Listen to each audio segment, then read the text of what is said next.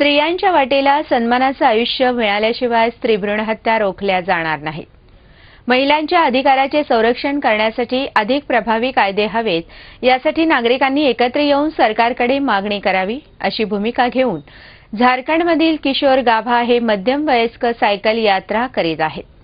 माध्यमातून स्त्रियांच्या जगण्याचा विषय प्रभावीपणे मांडणाऱ्या अभिनेता आमिर खान यांची मुंबईत भेट घ्यायची आहे असेही गाभा यांनी सांगितलं. स्त्री भ्रूणहत्या आणि महिलांवरील अन्याय अत्याचार या संदर्भात व्यापक जनप्रबोधन झालं पाहिजे अशी भूमिका घेऊन रांची येथील मध्यमवयस्क किशोर गाभा एकवीस नोव्हेंबरपासून सायकल घेऊन निघाले आहेत. मजल दरमजल करीत मुंबईकडे जात असलेल्या गाभा यांचे महामार्गावरील लळिंग येथे आगमन झालं. त्यावेळी त्यांनी गावातील महिला पुरुषांना महिलांवरील अत्याचार कमी होण्यासाठी कराव्या लागणाऱ्या प्रयत्नांची माहिती दिली. महाराष्ट्रात आल्यानंतर मला अनेक ठिकाणी उत्स्फूर्त प्रतिसाद मिळाला. त्यामुळे माझा उत्साह दुणावला आहे. दूरदर्शनवरील कार्यक्रमातून अभिनेता आमिर खान यांनी या विषयावर अपेक्षित परिणाम साधला. पण सर्वांना एकत्र आणल्याशिवाय आपण परिस्थितीत बदल करू शकत नाही हेही तितकंच खरं आहे. त्यामुळे आमिर खान यांनी हे प्रयत्न पुढे कायम ठेवावेत अशी भूमिका घेऊन आपण त्यांची भेट घेणार आहोत असंही किशोर गाभा यांनी सांगितलं. जो ऑलरेडी बेटी है तीन साल, चार साल, दस साल, आठ साल।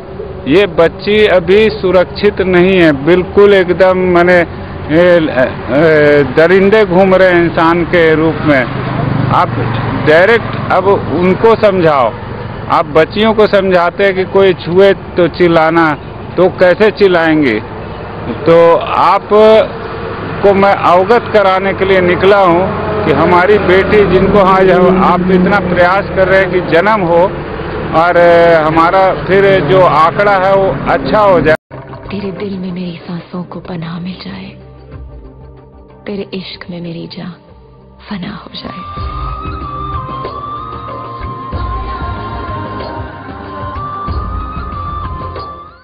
कुछ ऐसी ही चाहत है रांची के किशोर गाबा की। जिनकी छोटी सी लव स्टोरी में आए ट्विस्ट ने एक जुनून को जन्म दिया और आज यह सब उन्हें मॉडर्न मजनू की पहचान दिला रही है। किशोर की ड्रीम गर्ल तो उन्हें नहीं मिली, लेकिन वो जताना चाहते हैं कि आज भी वे उसे भूले नहीं। दिन का उजाला हो या रात का अंधेरा, ये अपने चाँद की याद में घंटों बैठकर बस उसका नाम लिखते जाते हैं। लिखे जो खत तुझे, वो तेरी याद में हज़ारों रंग के नजारे बन गए। हुआ तो फूल बन गए जो रात आई तो सितारे बन गए।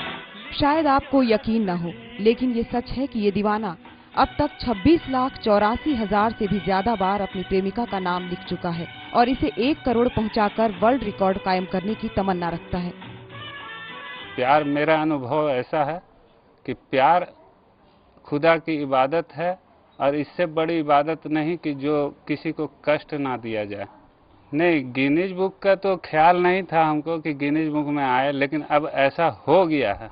ये कि गिनीज बुक में आए, मेरा जो लिखा हुआ है, ये म्यूज़ियम में जाए, और बरसों तक लोग इसे भी देखें। परिवार में पत्नी के अलावे किशोर की तीन बेटियाँ हैं। प्रेमिका का साथ नहीं, लेकिन दिल दिमाग में हर वक्त उसका सुरूर ज़रूर है। बदलते दौर में जहाँ पति पत्नी के बीच वो हँसते खेलते दाम्पत्य जीवन को तलाक तक पहुँचा रही हैं, वहीं इस प्रेम कहानी में ठीक उल्टा है। लोगों को भले ही यह रास न आए, लेकिन किशोर की पत्नी को उनके इस प्रेम से कोई ऐतराज नहीं, बल्कि वो तो अपने मियाँ को अपना हीरो नंबर वन कहती है। प्रेम करना कोई गुना नहीं है। प्रेम करो, मगर उसको वादा निभाओ। आजकल तो लड़की लोग को मार दे रहा है। मेरा पति ऐसा कि बिना छुए प्यार कर रहा है।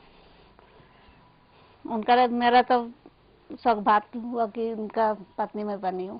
मेरे हस्बैंड का नाम Kishore Kumar Gaba hero number one hero number one hero number one लिखे जो खत तुझे, वो तेरी याद में हज़ारों रंग के नजारे बन गए।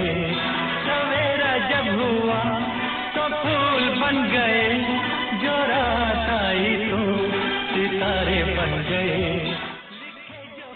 इस प्रेम कहानी को सुनकर कोई हंसता है तो कोई इसे किशोर का पागलपन करार देता है।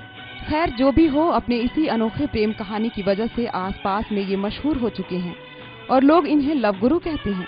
कैमरामैन समीर के साथ मनोज पांडे, सेवन डेज़ रांची।